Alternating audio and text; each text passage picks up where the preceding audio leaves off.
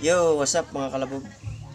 Ah, may ituturo lang tayo mga kalabog sa ating kaibigan na nagtanong kung paano ikabit yung igniter natin na ah, yung power module high voltage generator.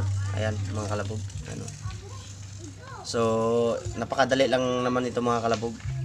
Shout out dyan sa'yo kay Le Montroso. Ah, ito yung tanong mo sa akin kung paano ikabit. So napakadali lang. Ito lang naman yung ano gagamitin natin. Ah, yung gamit ko naman mga kalabog hindi hindi ganito yung ba- battery natin gamit. So ituturo ko lang kung paano ikabit. Yung ginagamit ko yung nasa ah, yung sa ano yung sa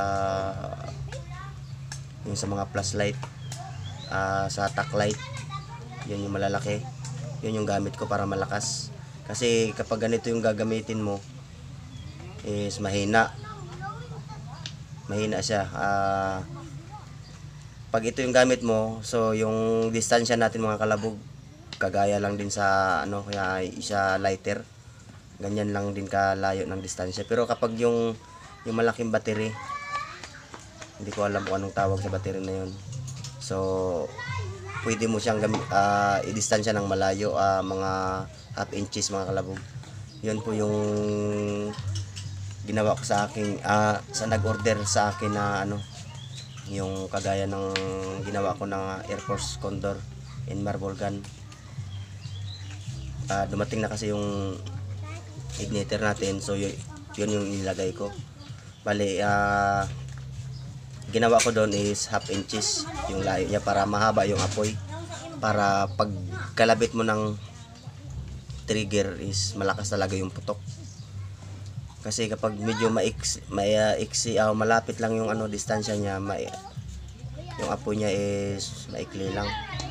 Pero malakas din naman yung putok, pero mas mag, mas maganda talaga yung mahaba kasi mahaba yung apoy, putok talaga kaagad.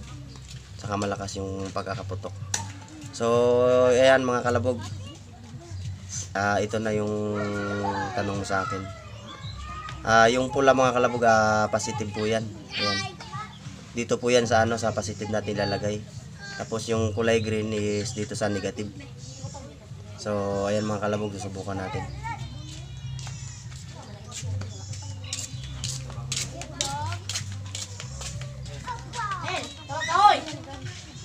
So ayan mga kalabog yan ang kanyang distansya. Ayan. Ah hindi nga hindi niya nga kaya mga kalabog kahit na medyo malapit na yung distansya niya kasi battery nga lang medyo, medyo mahina yung ganitong battery kasi. Yan o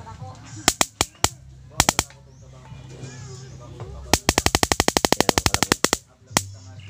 Yan kitang kita nyo na. So yan ito yung gamit natin sa pa, para malaman niya kung paano ikabit. Yan yung pula dito sa positive. Yung kulay green nasa negative Ayan. Ah ang iano ko suggest ko lang sa lemon troso yung gawin mo ah gamitin mo yung battery na ano yung sa tack light nga. Wag ito kasi mahina ito eh. Ayan, kagaya niyan, hindi mo hindi mo pwede ilagay sa hindi mo pwedeng i-distansya ng malayo. Dapat ganyan kalayo para mahaba talaga yung apoy niya. Para putok agad. Kagaya niyan may ah, medyo malayo ang distansya. Yan hindi niya hindi kayang paputok ah, ka, hindi niya kayang pa ano yung apoy. Gusto pa talaga ipalapit. So ayan mga kalabog. Hanggang dito na lang ang aking video. Ah huwag niyong kalimutang mag subscribe paki-hit na rin ang notification bell at ma-update kayo sa aking mga i-upload na video. Ah, wag don't forget ah comment down below para sa mga i-request nyo sa akin kung anong gusto nyo itanong sa aking mga gawa. At kung gusto nyo mag-request kung anong klaseng design ang inyong ipagawa, pwede natin gawin yan.